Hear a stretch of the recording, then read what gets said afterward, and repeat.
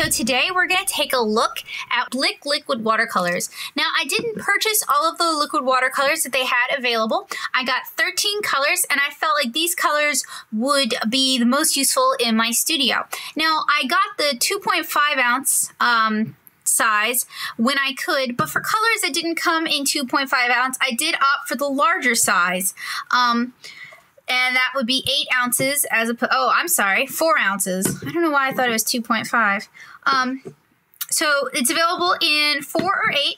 These are recommended for classroom use. Um, these do seem to be very much student grade but i've heard other artists talking about liking them using them. Um, so i thought it was worth trying.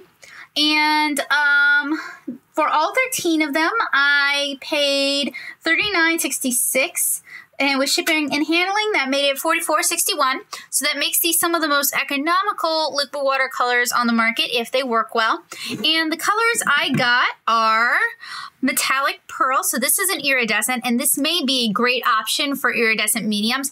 And oh before i go too much further when my package arrived my yellow had um, spilled. There was a tiny hole. I patched it up with hot glue but it gotten all over everything. Um, it was not well, I mean, my mailman kind of drop kicks everything that comes to the house anyway, so it was not, you know, mailman proof in that instance. Now, the colors I got are liquid pearl, uh, yellow green, blue violet, yellow orange, blue green, brown yellow, turquoise, red, orange, green, magenta, and violet. So I got a pretty wide range of these.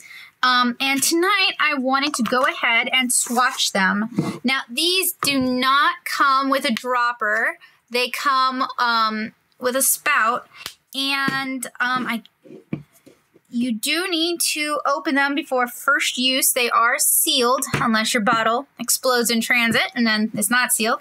So um, I'm going to go ahead and do this in time lapse and probably make a huge mess. These are staining. These are dye based, not pigment based. Um, now, if you get at them quick enough, the stain shouldn't become a permanent issue. But, you know, you do want to be careful. So since they don't come with a dropper, I'm going to use one of my own and just go ahead and swatch these the way I've been swatching my other liquid watercolors. I'm going to clean my dropper out pretty well and then go ahead and use a water brush. Oh, what? That feels gummy as heck. It says it doesn't need to be diluted, but that feels really, really gummy. I'll go ahead and zoom in for you guys. That's not going to be fun to field test.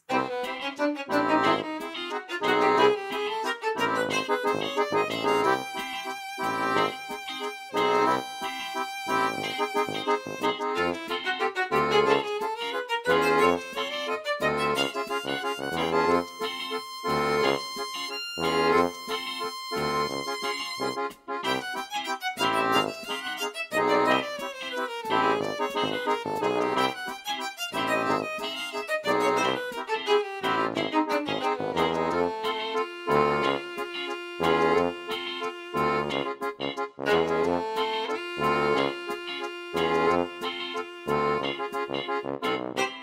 guys, last one, it's magenta, and I wanted to show you guys something.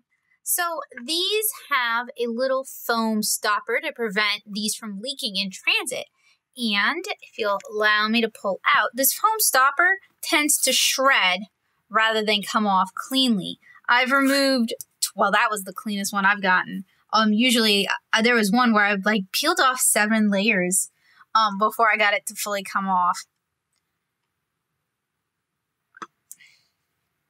Um, in general, I find these a little bit thicker in term, more viscous would be a good word than um, many of the other uh, liquid watercolors I have tested. So far, the colors are very vibrant. Of course, because these are dye based, they're not going to be, um, you know, light resistant or light fast. They will fade in the sun. They're sort of like a step up um, from, say, Crayola watercolors, but they're still something that's not quite right with these, or they don't feel quite right. Um, but you know, the only way to really find out is by doing a field test and putting them through their paces. So thank you guys so much for hanging out with me. I hope to see you again really soon. Bye, guys.